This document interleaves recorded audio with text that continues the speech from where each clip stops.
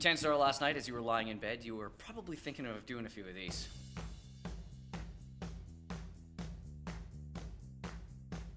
Prince George's Hova, today's best music. It's Country 97 FM with Kurt and Kaylee in the morning. Good morning and happy Thursday. Woohoo. Almost around to the weekend again. Oh, I'm excited. Yeah, it's gonna be nice. Out of the MyPrinceGeorgeNow.com newsroom, uh, we are learning that uh, We Medical Downtown has had their business license revoked.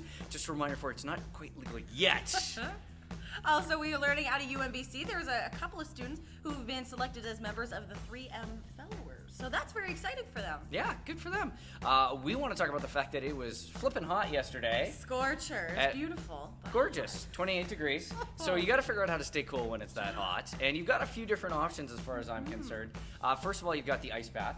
Yeah. You can always do that. Ooh, maybe jump in a lake. Jump in a lake. Jump in a lake is a good one. Oh, I'll take that. Yep. Screamers. I had my first screamer. Uh, yeah, and this is how it went, by the way.